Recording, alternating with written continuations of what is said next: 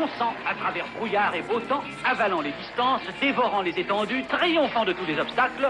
Voici les fous du volant. Un peu bricoleur et un peu casse-cou, les 41 équipages venus de toute la Corse dévalaient les rues de Mezzavilla. À fond les manettes sur un parcours semé d'embûches au volant de drôles d'engins. Leur objectif, parcourir les 600 mètres le plus vite possible et gare au contournement des obstacles, c'est 5 secondes de pénalité. On, part pour s'amuser, mais vraiment c'est dur dur. Hein. Surtout quand on arrive sur le saut. Ah, je tremble. Ah. C'est un régal, hein. il ne faut pas grand-chose, on peut s'amuser. Il y a une bonne ambiance et c'est le principal. Certains ont passé une nuit ou plusieurs mois à réaliser ces petits bolides entièrement mécaniques pour le simple plaisir de déambuler. Et ça marche. Super, une belle, une belle fête pour mes avis.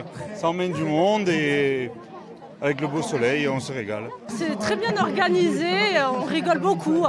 On attend les cascades maintenant, on attend ceux qui vont tomber. Et justement, dans une course déjantée, il y en a toujours pour assurer le show.